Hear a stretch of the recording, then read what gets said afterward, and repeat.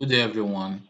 In this video today, I will show you how to add alt attribute to image in WordPress. So to do this, firstly, log into your WordPress dashboard. As you can see, I've logged into my WordPress dashboard right here. The next thing for you to do is just to go to the media, then click on library.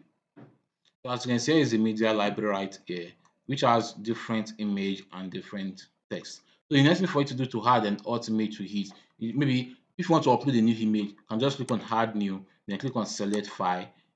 And you can just select any image which you want to add. Let me just select anyone right here. Let's just use this one as example. So click on open to continue.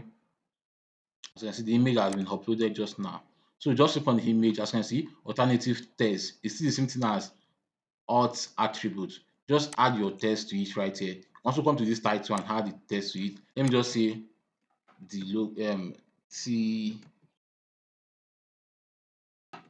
let's just add it right here also. So right now I've just add alt attribute to this post. So when done, just click close it. As you can see, it will be added automatically. Also, you can if if, if the image is the image which you have uploaded in the past, you can just click on it.